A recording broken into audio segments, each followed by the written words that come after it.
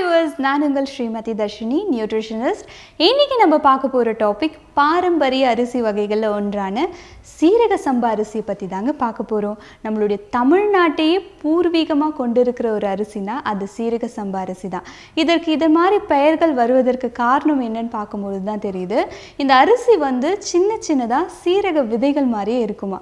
அதனால தான் நம்மளுடைய முன்னோர்கள் இதுக்கு சீரக சம்பான்ற பெயரையே வச்சிருக்கிறாங்க. இதில் எக்கச்சக்கமான மருத்துவ குணங்கள் வந்து அடங்கியிருக்கு.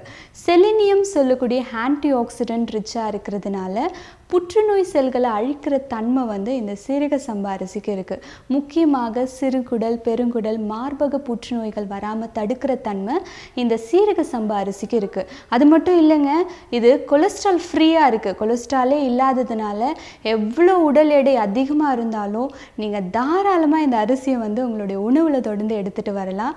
மலச்சிக்கல் பிரச்சனையை சரி செய்யக்கூடிய தன்மையும் இந்த சீரக சம்பா அரிசிக்கு. இருக்குது இதில் என்னதான் நியூட்ரியன்ட் இருக்குன்னு பார்க்கும்போது தான் தெரியுது. ப்ரோட்டீன் ஃபைபர் விட்டமின்ஸ் மினரல்ஸ் இது மாதிரி நியூ நியூட்ரியன்ஸ்லாம் ப்ரெசென்ட் ஆகிருக்கு மூச்சு திணறல் இருக்கிறவங்க ஆஸ்துமா பிரச்சனை இருக்கிறவங்களாம் இந்த சீரக சம்பா அரிசி அவங்களுடைய உணவில் வந்து கஞ்சி மாதிரி இட்லி மாதிரி இல்லை தோசை இல்லை சாதம் மாதிரி வடிச்சும் எடுத்துக்கலாம்.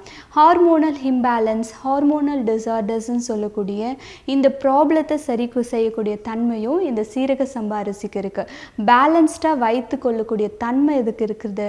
அப்புறமா ஹெல்த்தி வெயிட் லாஸ் பண்ணணும்னு நினைக்கிறீங்களா? நீங்கள் சீரக சம்பா அரிசியை உங்களுடைய உணவில் நீங்கள் தொடர்ந்து எடுத்துகிட்டு வரலாம்.